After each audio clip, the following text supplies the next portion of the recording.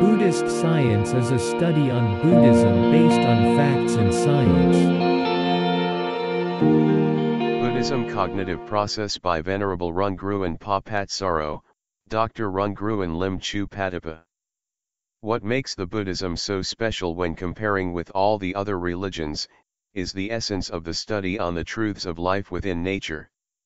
It is very amazing that 2600 years ago in an ancient time, the Buddha was interested to study the science of mind, and discover during his enlightenment on the truths of life within nature. And by having a good understanding of how the mind functions in mind processing, then it leads to a clear understanding of what a life is, and in what way we can improve the quality of life correctly, instead of looking up for help from any supernatural and spiritual powers.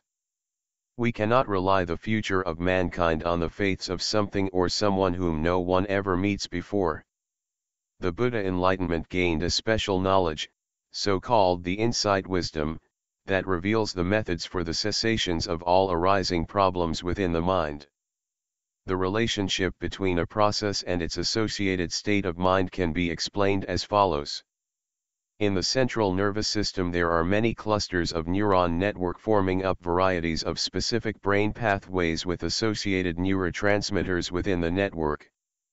When a network is activated by having a consciousness, then an associated neurotransmitter is released, and reflecting in a certain state of mind depending on the type of neurotransmitter. And as the neurons are activated along the pathway by having a stream of consciousness, then a series of neurotransmitters are released, and causing a series of states of mind within the mind processing, so called the mental behavior. The Buddhism's understanding of the processing pathway and the associated state of mind are very important in Buddhist practice because the Buddha used a mindfulness to monitor an arising of the particular state of mind, and then by abandoning the active state of mind then the mind will disrupt the current mind processing and changing the route into a new pathway. During the Buddhist practice, this mind cleansing algorithm will be initialized within the central nervous system by having a mindfulness to monitor an arising unwholesome state of mind, and then abandoning it to reroute the mind processing into a right direction so that the mind will become steadied internally, composed, unified, and concentrated, until dwelling into the inner mind in performing an insight observation to gain an insight wisdom, and then using this insight wisdom to completely cleanse the origin of all kinds of defilements from the mind.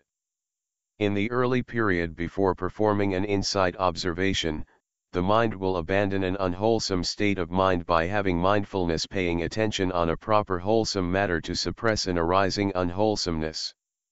However, after the mind gains an insight wisdom the mindfulness will be accompanied with this insight wisdom to completely abandon the origin of all kinds of defilements. The Buddha studied starting from the phenomena of mind in terms of process and state, the components of mind, the mechanic of consciousness, the processing of mind, and then the discovery of the process of dependent origination. The study on the mind is considered as the most important part in the threefold study strategy, and the knowledge of the truths of mind gained in this study leads to a conclusion that a life is a natural process and it is no self. The Buddha explained about the arising problem within the mind processing because of having a wrong view of a life as a self in the discussion between the Buddha and his students on the problem and danger of identity view of the five aggregates of becoming to be a self, and then he explained on how to escape the identity view of the five aggregates of not becoming to be a self, this is a way of how to apply the wisdom to resolve the arising problem within the mind as follows. Venerable Sir, how does identity view come to be? Here, the uninstructed world, who is not a seer of the noble ones and is unskilled and undisciplined in their dharma, who is not a seer of superior persons and is unskilled and undisciplined in their dharma, regards form as self, or self as possessing form, or form as in self, or self as in form.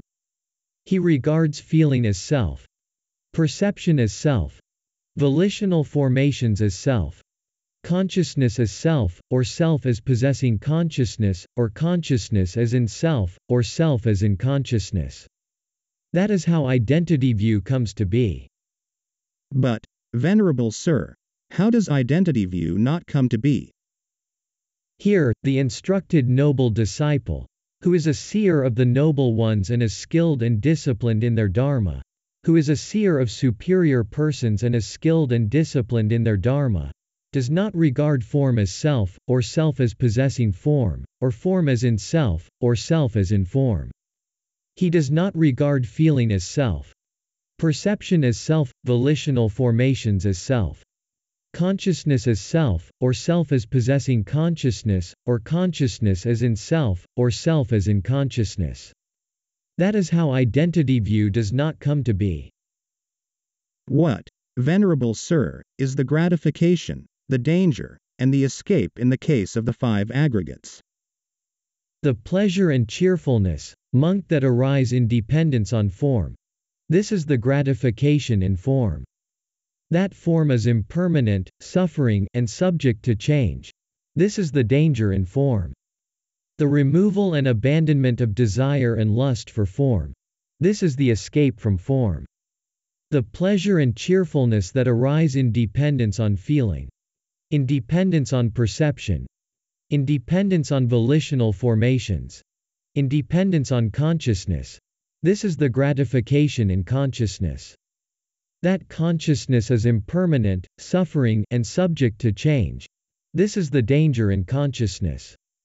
The removal and abandonment of desire and lust for consciousness. This is the escape from consciousness. Saying, Good, Venerable Sir. That monk delighted and rejoiced in the Blessed One's statement. Then he asked the Blessed One a further question. Venerable Sir. How should one know and cease that, in regard to this body with consciousness and in regard to all external signs, I making, mine making, and the underlying tendency to conceit no longer occur within? Any kind of form whatsoever, monk, whether past, future, or present, internal or external, gross or subtle, inferior or superior, far or near. One sees all form as it really is with correct wisdom thus. This is not mine. This I am not. This is not myself. Any kind of feeling whatsoever. Any kind of perception whatsoever. Any kind of volitional formations whatsoever.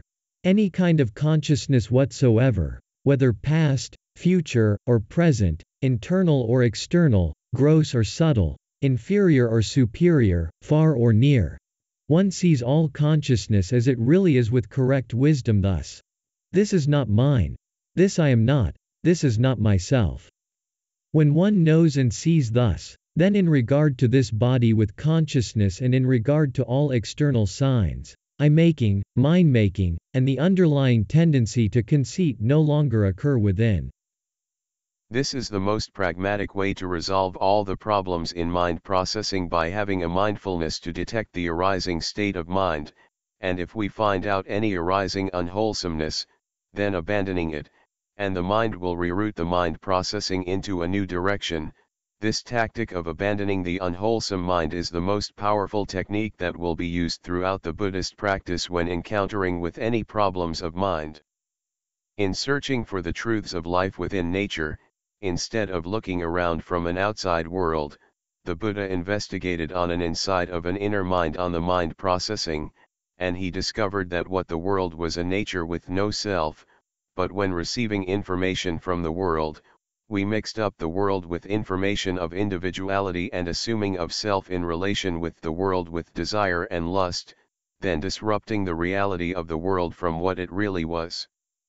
And once we can view the world with no self as what it really was, then we can discover the truths of life within nature, and being able to take action in responding to the world rightly. On the night of enlightenment, the Buddha revealed the truths of life within nature without any modern scientific equipment by performing an insight observation to see arising mental phenomena.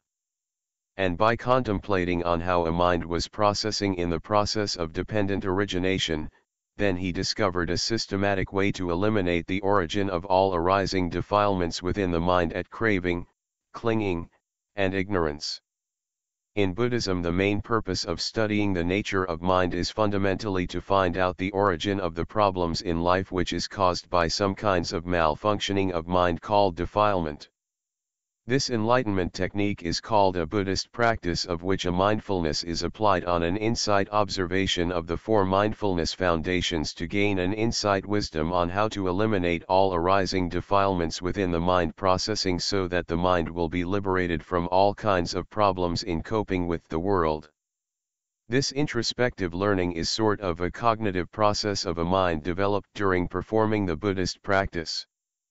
This Buddhist cognitive development starts with having a mindfulness meditation to improve the quality of mindfulness to the purified mindfulness, then using this purified mindfulness to perform an insight observation on the four mindfulness foundations to experiencing the object of consciousness in relation to the five aggregates of being in performing the research on Dharma is to realize the reality of arising object of consciousness with the Four Noble Truths to gain knowledge that a life is no self, and finally apply the gained insight wisdom to liberate the mind at the clinging, ignorance, craving of the process of dependent origination and thus completely collapsing the process of dependent origination.